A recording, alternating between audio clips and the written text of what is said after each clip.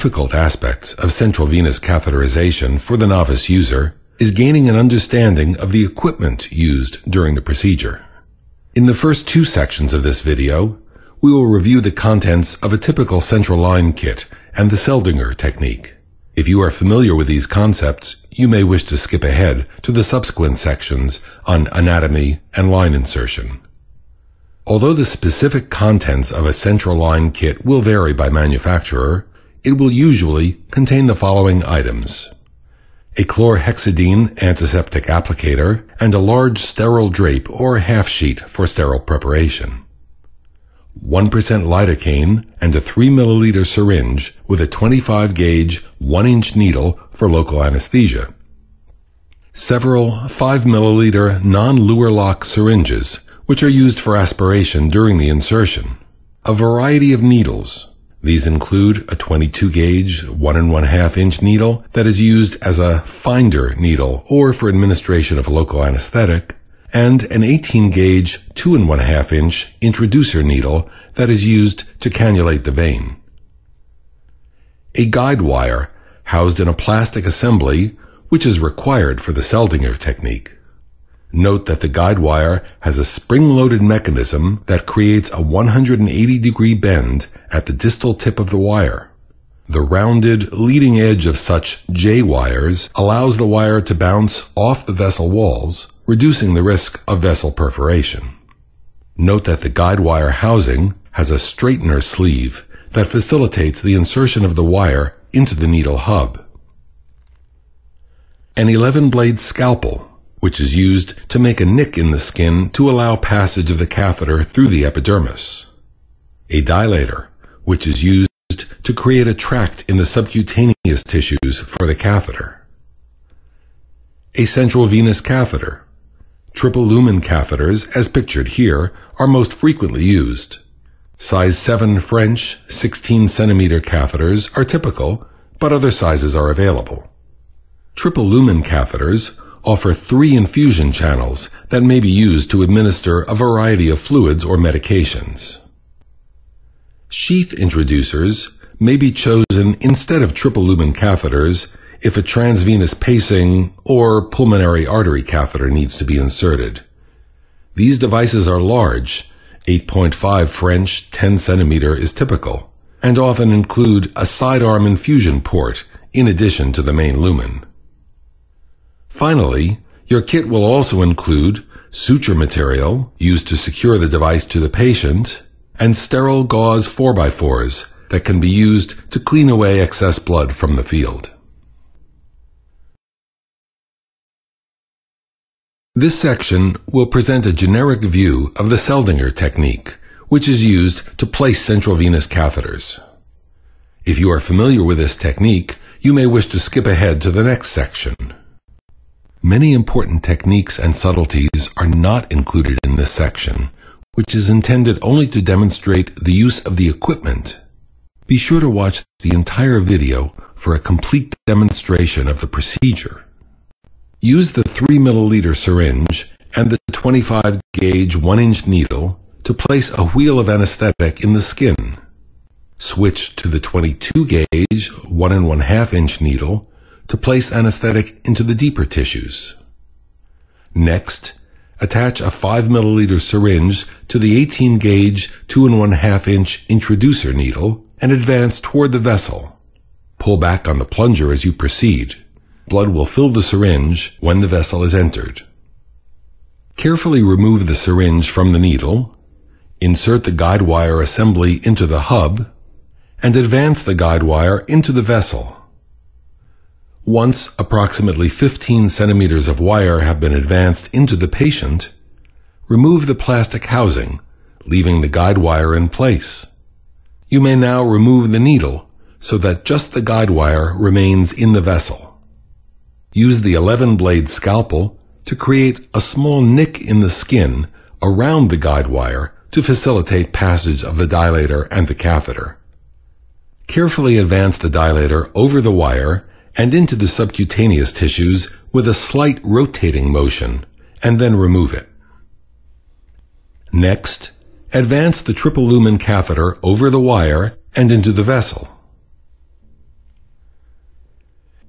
Finally, remove the guide wire from the catheter and place the end cap over the exposed port. If using a sheath introducer instead of a triple lumen catheter, the technique is slightly different.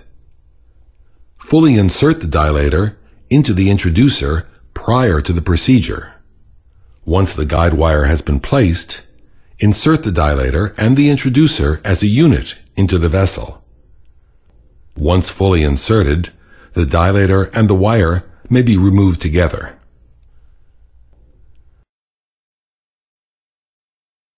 The relevant surface anatomy for the subclavian vein includes the sternal notch, the clavicle, and the clavicular head of the sternocleidomastoid muscle. The subclavian vein lies posterior to the medial portion of the clavicle. Connective tissue fixes the vein between the first rib and the clavicle, giving it a relatively invariable anatomic position. Note that the subclavian arteries are located posterior to the veins and are separated from them by the anterior scalene muscles. Note also that the lung may extend to the level of the first rib. There are two approaches to subclavian vein cannulation. For the infraclavicular approach, which is the most commonly used, first establish the location of the clavicle. Place the index finger of your non-dominant hand in the sternal notch and your thumb on the mid-clavicle. Needle entry occurs 1 to 2 centimeters inferior to the junction of the proximal and middle thirds of the clavicle. The needle is held 5 to 10 degrees to the coronal plane of the body and is directed towards the sternal notch. For the supraclavicular approach, establish the location of the clavicle and of the sternal and clavicular insertion points of the sternocleidomastoid muscle. Needle entry occurs superior to the clavicle, one centimeter lateral to the clavicular head of the muscle. The needle is aimed 10 degrees anterior to the coronal plane of the body and is directed toward the contralateral nipple. Position the patient supine with the stretcher placed in 15 to 30 degrees of Trendelenburg. The bed should be at a sufficient height that you do not have to bend over or stretch during the procedure. Traditional practices of placing a towel roll between the scapulae and abducting the arm are not recommended. Open the central line kit on a bedside table positioned within easy reach. Before unpacking the kit, Put on a face mask, surgical cap, and a sterile gown and gloves. Next, lay out the equipment on the sterile wrapping from the kit. It is helpful to arrange the contents on the table in the order that they will be used during the procedure. Test the guide wire to make sure that it feeds easily through the straightener sleeve and then retract it before proceeding. Pre-flush the ports of the triple lumen catheter with normal saline and leave the cap of the distal port removed so that the guide wire may be advanced through it. Cleanse the skin overlying the entry site with a chlorhexidine applicator, covering a wide region. Place the sterile fenestrated drape over the procedure area. Note that a large full-body drape should be utilized to reduce the incidence of iatrogenic infection. In this video, the infraclavicular approach is demonstrated. The technique for the supraclavicular approach is analogous, using the landmarks discussed in the anatomy section. Using the 3 milliliter syringe with the 25 gauge needle, place a wheal of local anesthetic at the needle entry site, which is 1 to 2 centimeters inferior to the junction of the proximal and middle thirds of the clavicle. Switch to the 22 gauge needle and anesthetize the subcutaneous tissues and the periosteum of the inferior border of the clavicle. Place the index finger of your non-dominant hand in the suprasternal notch and your thumb on the bend of the clavicle. Insert the 18 gauge introducer needle attached to a 5 milliliter syringe at a point 1 to 2 centimeters inferior to the junction of the proximal and middle thirds of the clavicle. The needle should be held at a 5 to 10 degree angle relative to the chest wall and advanced until it contacts the clavicle. Walk the needle down the bone and toward the subclavian vein. It may be helpful to push down on the needle with your non-dominant hand to guide it toward the posterior surface of the clavicle. Pull back on the plunger as you advance. Entry into the vessel will be heralded by return of free-flowing, dark, venous blood into the syringe. If air is aspirated, the pleura has been violated, and the patient should be evaluated for pneumothorax. Any subsequent central access attempts should occur on the same side to avoid bilateral pneumothoraces.